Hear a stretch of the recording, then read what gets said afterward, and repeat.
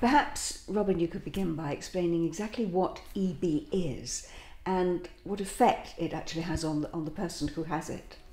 EB is a genetic skin blistering condition and people who have EB don't have the chemical that you and I have got called collagen 7. Collagen 7. And if you need collagen 7 in its right format to make your skin stay attached to your flesh. So uh, EB has uh, three main forms. The worst is known as junctional and unfortunately children who get junctional die within the first six or eight months of life. The next and most distressing form is dystrophic and then the mildest form is known as simplex.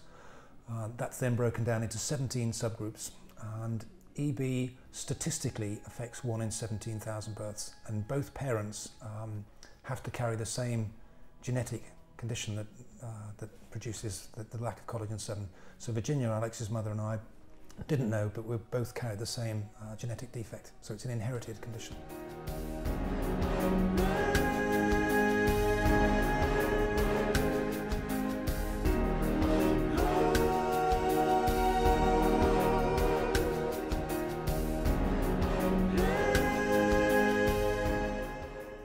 First Minister, could you give me your comments, please, on the fact that out of the 44 DebRAs worldwide, DebRA boasts that it's the, uh, the best country in the world in raising money per head of population and creating awareness for EB worldwide?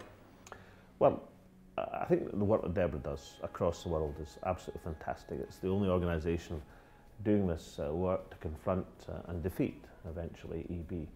Uh, but, you know, obviously as First Minister of Scotland, I'm awful proud of Scotland in a whole range of ways. But I don't think anything makes me prouder than to hear that, uh, that Scotland comes out top in terms of uh, fundraising and support uh, for such a, a vital and valuable organisation such as DEVO.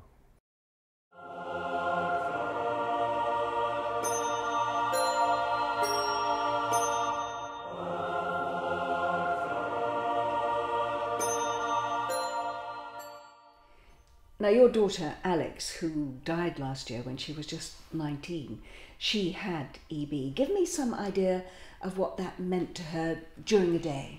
She would wake, um, her mother always had to wake her because of the, uh, of the condition. She would lose all the body's vital nutrients that make you healthy. So she would wake up tired. And one of the things that the, one of the other side effects of the condition is that the hands all become fused, the skin's, fingers become all fused together. So every night, Virginia used to put her hands religiously, every night of her life, she had her hands put into splints to try and slow down the process of her fingers joining together. So she'd wake up in the morning, um, her mother would take her splints off and then start the, the, the bandaging for the day.